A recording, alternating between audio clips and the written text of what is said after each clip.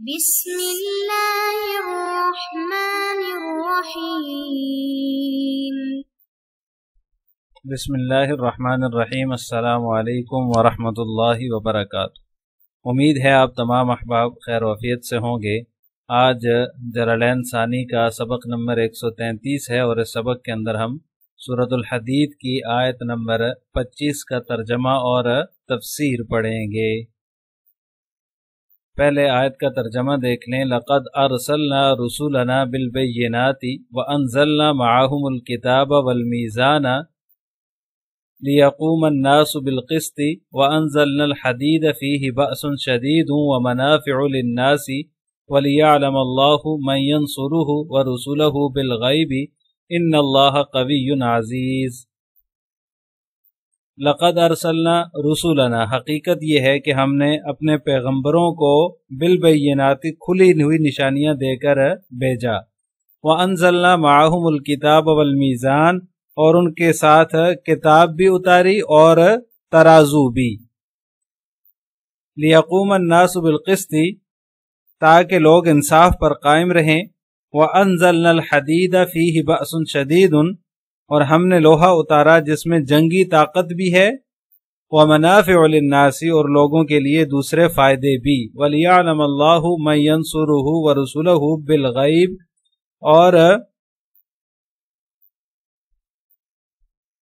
ये इसलिए है ताकि अल्लाह जान ले कि वो कौन है जो इसको देखे बगैर इसकी दीन की मदद दीन की और उसके पैगंबरों की मदद करता है।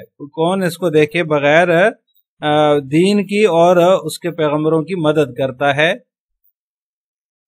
इन अल्लाह कवी नाजीज बेशक अल्लाह तबारक ताली बड़ी क़वत वाला, बड़े इकतदार का मालिक है।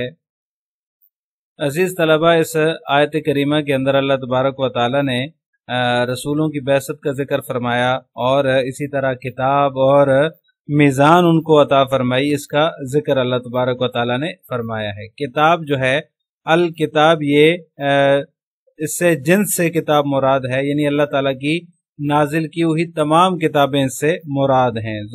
जबूर, तुरैत, इंजील, पुराने करीम, जितनी भी किताबें अल्लाह तबारक वाली ने नाजिल फरमाई हैं, वो सारी इससे मुराद हैं। अल मीज़ान मीज़ान तराजू को कहते हैं। बाद हजरात ने इसका ये तर्जमा किया है क्योंकि इसके ज़रिए से जो है वो नाप तोल की जाती है और अदल इंसाफ का ये एक आला है, मीज़ान तराजू जो है। इसलिए बाद हजरात ने इसका तर्जमा तराजू से किया है और बाद हजरात ने इसका तर्जमा इंसाफ से किया है। यानी कि इसका माना होगा कि अल्लाह तबारक ताली ने किताबें नाजिल फरमाई और इंसाफ नाजिल फरमाया। दोनों सूरतों में मतलब जो है वो एक ही बनता है।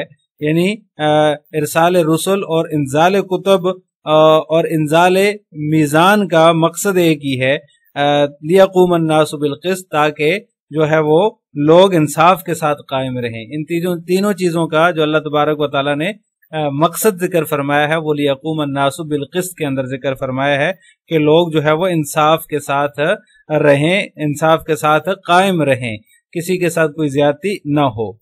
वह अनजल हदीद फ़ी बासन शदीद और लोहे में एक हैबत शदीदा है। मुनाफे कसीरा भी हैं। वह मुनाफे लिन्नास।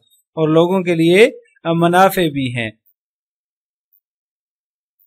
हमने लोहे को उतारा। इसमें हैबत शदीदा है। सख्त हैबत है। मतलब ये है कि जो जिहाद के लिए हथियार बनाए जाते हैं, जैसे तलवार है, खंजर है, बंदूक है इसी तरह जो है वो आजकल के ज़माने में देख लें तो हर जंगी हथियार जो है वो लोहे से ही बन रहा है।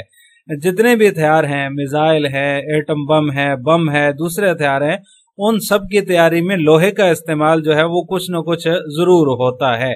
और कुछ तो मुकम्मल लोहे के होते हैं और कुछ के अंदर जो है वो लोहे का इस्तेमाल होता है। बम के अंदर भी बारूद लोहे में ही भरा जाता है। तो इसलिए इन हथियारों का डर जो है वो लोगों पर सवार रहता है और एक दूसरे पर वो हमला करने से बाज रहते हैं। अल्लाह ताला जो है वो मोमिन बंदे को इन्हें इस्तेमाल करने की इजाज़त अनायत फरमाते हैं। इन हथियारों को इस्तेमाल करके कुफर को मिटाने का हुक्म अल्लाह तबारक ताला ने फरमाया है और मुसलमान जो है, अल्लाह ताला के जो नेक बंदे हैं, वो इसको इस्तेमाल करके काफिरों पर हमला करते रहते हैं और जो है वो काफिर के दिलों में इससे दहाक बैठी रहती है, उनके दिलों में डर बैठा रहता है सारी दुनिया जो है वो काफिर सारी दुनिया के इस बात से डरते हैं कि कहीं मुसलमान जिहाद ही शुरू ना कर दे। तो इसके अंदर जो है वो अल्लाह तबारक ताला ने ये भी लोहा नाजल करके भी एक बड़ी नेमत का तस्करा फरमाया है। वह मुनाफिनास और लोहे में लोगों के लिए और भी मुनाफे हैं। मतलब एक तो जंगी हथियार इससे बनते हैं, और इसके अलावा जो दीगर चीज़ें हैं इस्तेमाल की जितनी भी मशीनें हैं, वो सारी की सारी जो है वो लोहे से ही बनती हैं। तमाम जो है वो इंसानों के काम आती हैं ये मशीनें। इस, इन, इनमें किसी न किसी दर्जे में लोहे का इस्तेमाल ज़रूर ज़रूर हुआ होता है। अगर लकड़ी की चीज़ भी है तो उसमें कील जो है ठोकी जा रही है वो लोहे की ही है। तो लिहाजा जो है वो और ठोकने के लिए जो हथौड़ा इस्तेमाल होता है वो भी लोहे का है। तो लिहाजा जो है वो हर चीज़ के अंदर लोहा इस्तेमाल हो रहा है। इसके अंदर लोगों के लिए बड़े फ़ायदे हैं। इस तरह तामीरात के शोबे को देख लें तो उसमें भी लोहा इस्तेमाल हो रहा है। ज़रात के शोबे को देखें तो उसमें भी जो ट्रैक्टर आजकल चलते हैं या दीगर जो मशीनें हैं वो सारी लोहे की हैं। तो इस तरह से जो है वो सारी चीज़ें जो है वो आ, लोहे से ही बन रही हैं। इसमें लोगों के लिए बड़ा फ़ायदा है। इसी तरह जो जानवरों को नकील डाली जाती है, वो भी लोहे की होती है। इस तरह दीगर जितने भी आलात हैं तकरीबन बाकी आप देख लें, जहाज़ हैं, कश्तियाँ हैं, समंदर में चलने वाली, आसमान में उड़ने वाले जहाज़ हैं, गाड़ियाँ हैं सब के अंदर जो है वो लोहा ही इस्तेमाल हुआ है और ये सारी चीज़ें लोगों के लिए, नफे की चीज़ है, मुनाफे हैं लोगों के लिए। और यह वलियालम व रसूल बिलगैब यानी ये हैबत शदीदा जो है, फ़ी बासन शदीद, इसके अंदर हैबत शदीदा है। ये हैबत शदीदा और दीगर मुनाफे जो है, इस लोहे के अंदर अल्लाह ताला ने जो रखे हैं, इनको पैदा करने में हिकमत जो है, वो ये है कि अल्लाह ताला जान ले के बगैर देखे उसकी और उसके रसूलों की कौन मदद करता है? बिल गैब। मैनसुरहू व रसूलहू बिल गैब। उसकी और उसके रसूलों की कौन मदद करता है? बगैर देखे। यानी बतौर इल्म जहूर के अल्लाह तबारक वाली ने यह फरमाया, वैसे तो अल्लाह ताला को हर चीज़ का इल्म है। अल्लाह ताला के दीन को तकवीत पहुंचाना इससे मुराद है, यानी कि अल्लाह ताला के दीन की खिदमत करता है या नहीं करता, अल्लाह ताला के दीन को आगे बढ़ाने के लिए, तकवीत पहुँचाने के लिए और उसकी जो है वो दावत देने के लिए वो इसको इस्तेमाल करता है या नहीं करता। जब जिहाद की ज़रूरत पड़ती है तो जो लोग मुसलमान हैं, मुखलस मुसलमान हैं, वो अल्लाह ताला के हुक्म को जो है वो सर आँखों पर लेते हैं, अल्लाह ताला के हुक्म की तामील करते हैं, उसके दीन की और उसके रसूलों की वो मदद करते हैं और हथियार लेकर वो उसके लिए, जो है वो निकल पड़ते हैं। उन लोगों ने अल्लाह ताला को देखा भी नहीं है फिर भी वो जान देने को तैयार हो जाते हैं, जो लोग जिहाद के लिए तैयार होते हैं। तो अल्लाह ताला को हर चीज़ का हमेशा से तो इल्म है, फिर भी जिस जिस चीज़ का जहूर होता है, उसके इल्म में वो चीज़ आती रहती है। ये भी वजूद में आया है, बल्कि वजूद ही वो बख्शता है, इस इल्म को इसलिए इल्म जहूर कहा जाता है। यानी कि इल्म जहूर के एतबार से अल्लाह तबारक ताला वैसे तो पहले से अल्लाह के इल्म में है कौन जो है वो दीन को तकवीत पहुँचाने वाले अमाल करता है और कौन जो है वो दीन को नुकसान पहुँचाने वाले अमाल करता है? कौन इन चीज़ों को दीन की तकवीत के लिए इस्तेमाल करता है और कौन जो है वो दीन के खिलाफ इसको इस्तेमाल करता है? इसके बाद का इल्म तो है अल्लाह ताला को, लेकिन इल्म जहूर यहाँ पर मुराद है, क्योंकि वजूद बख्शने वाली जात तो अल्लाह तला की है, वजूद तो वो बख्शता ही है। लिहाजा इस लिया से मुराद इल्म जहूर है। इन अल्लाह कवि अज़ीज़ बेशक जो है वो अल्लाह तबारक कवि है और अज़ीज़ है। अल्लाह ताला के दीन की मदद का ऊपर जो ज़िक्र फरमाया अल्लाह ताला ने मैनसुर और रसुल बिलगैब के अंदर आ, वो इस वजह से नहीं है कि अल्लाह ताला को मदद की ज़रूरत है। अल्लाह ताला तो कवि ज़ात है। इन अल्लाह कवि वो तो कवि ज़ात है और गालिब है। जो कुछ उसके दीन की खिदमत तुम करोगे तो उसमें तुम्हारा ही फ़ायदा है। अल्लाह ताला का कोई फ़ायदा नहीं है। ये मकसद है इन अल्लाह कवी अज़ीज़ का। लिहाजा ये जितनी चीज़ें भी अल्लाह तबारक वाली ने शायद के अंदर ज़िक्र फरमाई हैं इन को जो है, जैसे तराजू है तो तराजू से इस बात की तरफ़ भी इशारा मिलता है कि इंसान को ज़िंदगी में जो है वो इंसाफ से काम लेने का हुक्म दे रहा है। गोया के अल्लाह तबारक ताला के हर काम में जो है वो एक अदल के साथ काम लो तोज़ुन और अतदाल से काम लो। और इसी तरह ये जो तोज़ुन और अतदाल है, ये आसमानी किताबों में भी पाया जाता है। और इसी तरह लोहे का ज़िक्र फरमाया तो लोहा भी जो है वो एक अजीम नेमत है अल्लाह ताला की। ये हर सनत में इस्तेमाल होता है। अल्लाह ताला ने किताब का ज़िक्र फरमाया, फिर उसके बाद मीज़ान का ज़िक्र फरमाया, और उसके बाद जो है वो जो है वो इसका लोहे का ज़िक्र फरमाया ताकि जो है वो क्योंकि शर की ऐसी बहुत सारी ताकतें होती हैं जो ना किताब की तालीमत को मानती हैं, ना रसूलों की तालीमत को मानती हैं, उन ताकतों को सुधारने के लिए जो है वो जिहाद की ज़रूरत पड़ती है। उनकी सरकूबी के लिए जो है वो जिहाद की ज़रूरत पड़ती है तो उसके लिए अल्लाह तबारक ताला ने लोहे का ज़िक्र फरमाया, जिससे जंगी साजो सामान जो है वो हासिल होता है और जिहाद के लिए जो है वो इस्तेमाल होता है। अब इस आयत की तफसीर जलालैन मुलाहिज़ाक़द अरसलना रसूलना अलमलाइकत इलम्बिया रसूलना रसूलना से मुराद जो है वो मुसन्ना फरमाते हैं, मलाइका है। यानी कि हमने जो है वो अपने रसूलों को, यानी मलाइका को भेजा इलम्बिया अम्बिया की तरफ़ बिलबैनाती वाज दलाइल देकर बिलहजल कवात वाज और कती दलाइल के साथ वो हजज हजज कवाते देकर उनको जो है वो अम्बिया की तरफ़ रसूलों को भेजा, यानी कि फरिश्तों को भेजा। वो अनजलना माहमुल किताब, और हमने जो है उनके साथ किताब जो है वो नाजिल की बेमान कुतुबी। बेमान कुतुब से मुसनफ इस बात की तरफ़ इशारा कर रहे हैं कि अलिफ लाम जो है वो इसमें जिन्स का है तो इसलिए यहाँ पर किताब से मुराद तमाम कुतुब हैं, जितनी भी आसमानी किताबें हैं। वल मीज़ान और मीज़ान देकर जो है वो भेजा। अल आदला यानी मीज़ान से मुराद अदल है, यानी कि इंसाफ है। यहाँ भी मुसनफ ने जो है वो दूसरी तफसीर जिस तरह पहले मैंने ज़िक्र किया ये वाली तफसीर जो है वो अल आदल वाली मुराद ली है कि इससे अदल यानी इंसाफ मुराद है।